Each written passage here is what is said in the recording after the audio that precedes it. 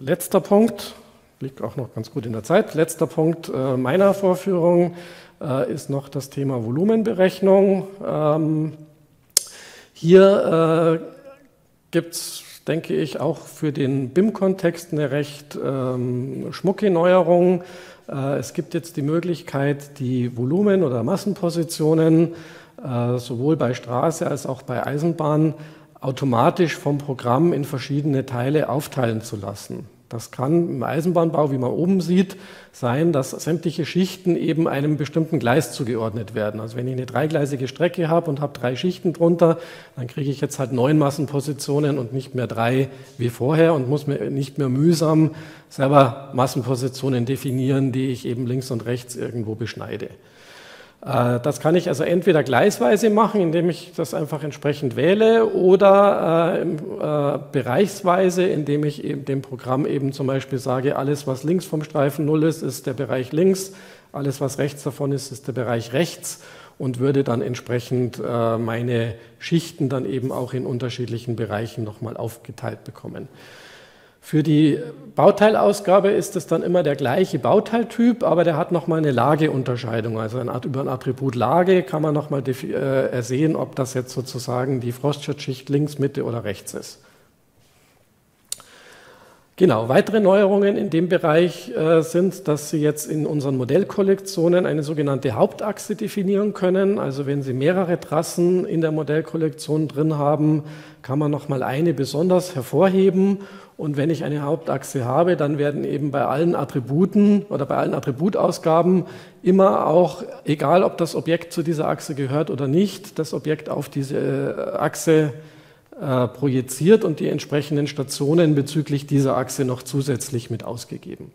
Und ich habe die Möglichkeit, jetzt die Bauteilausgaben in Stationsbereichen äh, durchzuführen, ähm, ohne dass ich jetzt irgendwelche 3D, äh, irgendwelche Umgrenzungspolylinien zeichnen muss, sondern indem ich einfach sage, bezüglich dieser Hauptachse von Station 1000 bis 2000 möchte ich meine Ausgabe äh, machen.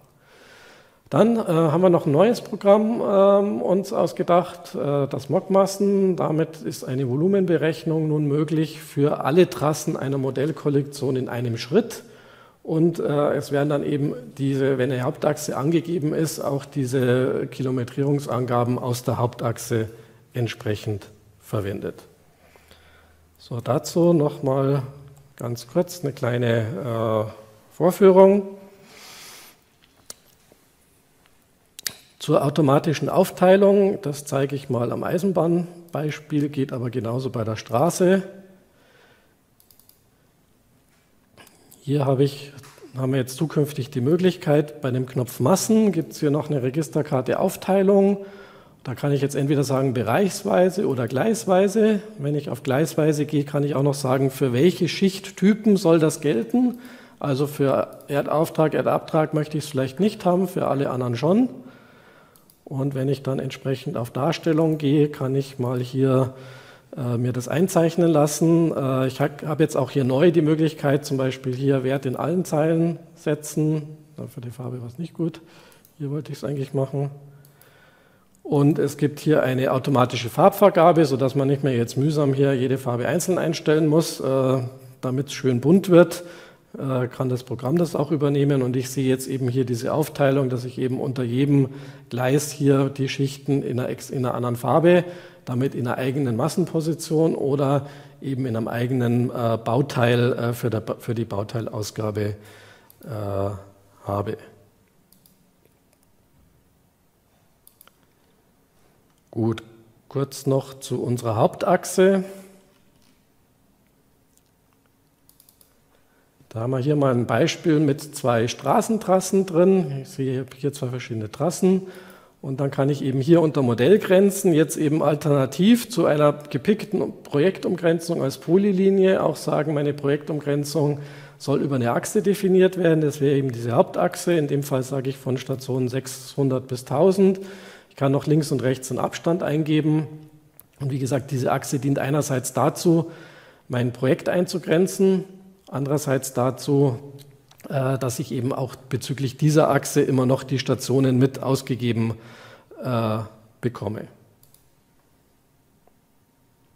Das würde man also hier einstellen und ähm, ich mache jetzt nochmal für unsere Grunderwerbsdatei ähm, hier ähm, eine Massenberechnung. Das wäre jetzt eben die Volumenberechnung über die Modellkollektion. Moment, halt, das war das Falsche. Ich muss natürlich schon die Straße nehmen, nicht das Grunderwerbsmodul. Äh, Massenberechnung, nochmal für unsere Straße. Es werden kurz die Trassen eingelesen. Hier kann ich eben sagen, okay, ich möchte die Berechnung auch bezüglich meiner Hauptachse durchgeführt haben. Kriege jetzt hier alle Positionen aus allen meinen Trassen aufgelistet, äh, kann natürlich auch wieder eine CPI-Ausgabe dafür machen. Und wenn ich auf OK klicke, werden die entsprechenden, ähm, entsprechenden Ausgaben erzeugt.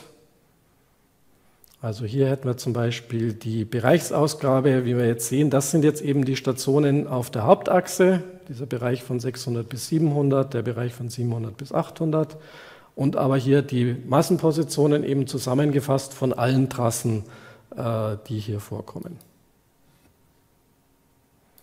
Genau. In der Excel-Ausgabe wird dann zusätzlich auch bei der Detailausgabe werden immer beide Stationen aufgeführt, nämlich die von der jeweiligen eigentlichen Trasse und immer die auch nochmal äh, von der Hauptachse.